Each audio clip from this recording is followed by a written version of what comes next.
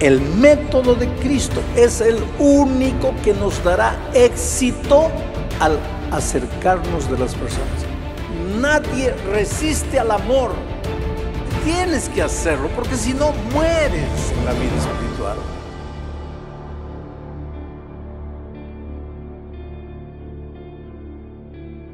Cuando Dios creó a Adán, lo vio solo, triste, y dijo, no es bueno que el hombre esté solo.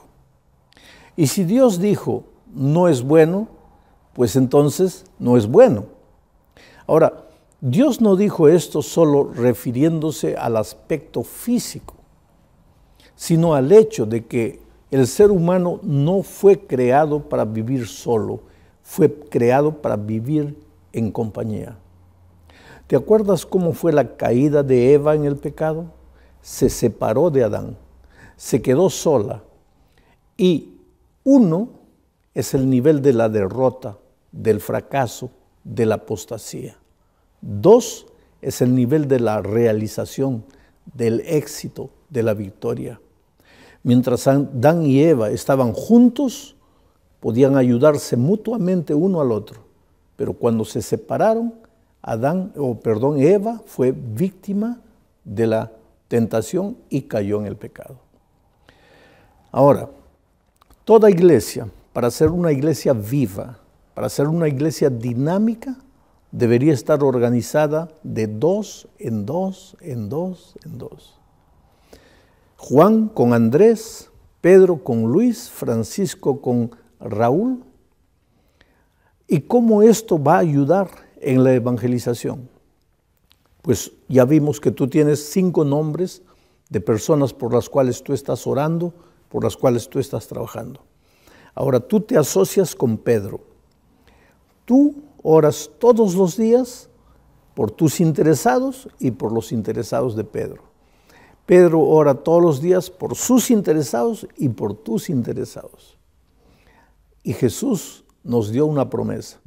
Dice, cuando dos, tú y Pedro, en la tierra se pusieren de acuerdo para pedir sobre cualquier cosa, mi Padre desde el cielo les concederá. Pero no es solamente eso, sino que cuando tú estás desanimado, Pedro te anima. Cuando Pedro está desanimado, tú lo animas. Todos los días se llaman por teléfono, se mandan un mensaje por WhatsApp. Ahora es fácil, las redes sociales nos ayudan, pero hay que aprender a vivir de dos en dos y a cumplir la misión de dos en dos. Ahora, vamos a imaginar una iglesia de mil miembros y que la iglesia no esté organizada de dos en dos.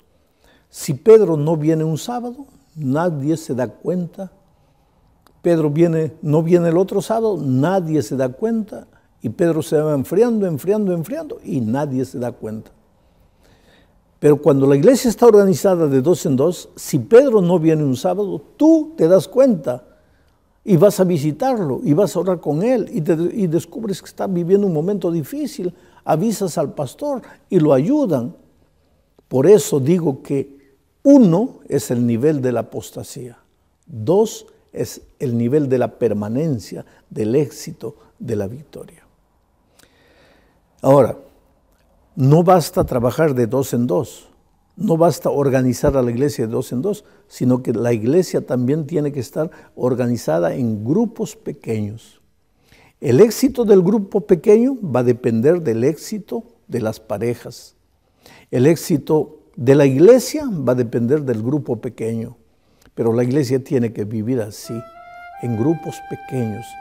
Así trabajó la iglesia apostólica, en el templo y en las casas se reunían en el templo, pero después se reunían en las casas y ahí se edificaban, ahí se apoyaban mutuamente y crecían y se multiplicaban porque cumplían la misión. Que Dios te bendiga ricamente.